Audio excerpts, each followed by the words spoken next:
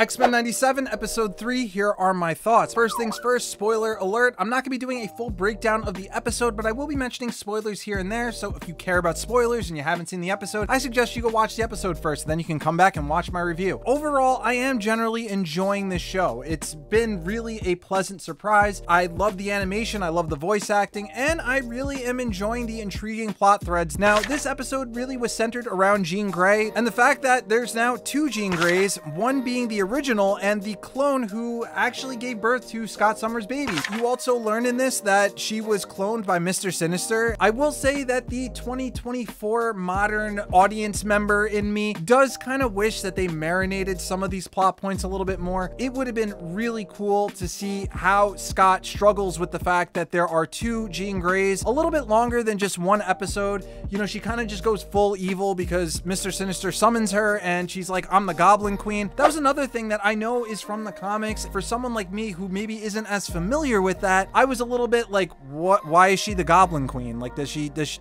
does she had a secret obsession with goblins this whole time? It is a little bit weird to me that the clone of Jean Grey just straight up leaves at the end because it was just kind of like your baby has a virus, you got sent to the future, there's a lot of things in flux. I mean, wouldn't you want to kind of stick around to see what happens with that? You know, some things because they're trying to just get it into this quick episode do come across a little bit random. Regardless, at the end of the day, this is a cartoon. I do think they're doing a lot right. I also want to remind you guys, it's been like 20 years since I've watched X-Men, the original cartoon, so my memory is a little fuzzy to say the least. They have done some pretty incredible things with the animation. The scene where Jean is bending everyone's reality was really cool and interesting, and I do like how they're utilizing all the different X-Men, you know, Bishop's from the future, and now he has to take this baby to the future and try to cure him. And there's just a lot of plot threads in this, a lot of interesting things, like the fact that Rogue and Magneto have a thing going on. I'm constantly waiting for that shoe to fall with Gambit. I'm having a lot of fun with this. It's been a pleasant surprise. I really can't wait for episode four, and generally I'm happy. It really feels like they've put a lot of care and TLC into this cartoon, and it does feel, to my recollection,